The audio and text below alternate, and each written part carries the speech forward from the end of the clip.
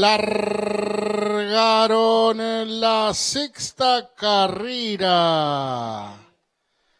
Trata de hacer la delantera por dentro, el uno posesiva C, medio cuerpo, lo sigue el 2 Califal, a la cabeza el 8 Panforte, un cuerpo y medio 9 Wild Ritz, a la cabeza el 7 Discreet King, a medio cuerpo adentro corre el 3 Out Panema, a tres cuerpos viene corriendo el 6 Tanto Boeing, a dos cuerpos corre el 4 Shurfery, por fuera el 8 Panforte, el pescuezo de ventaja, sigue el 2 Califal, adentro 1 posesiva los de la sexta, ya están en la recta final.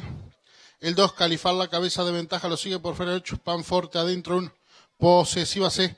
A media cancha corre 9. Wild Ritz por fuera viene corriendo el 7. Discreet King abierto corre el 3. Out Panema adentro corre el 6. Tanto Boeing en el medio gana posiciones. El 4 Surfería los últimos 300 metros.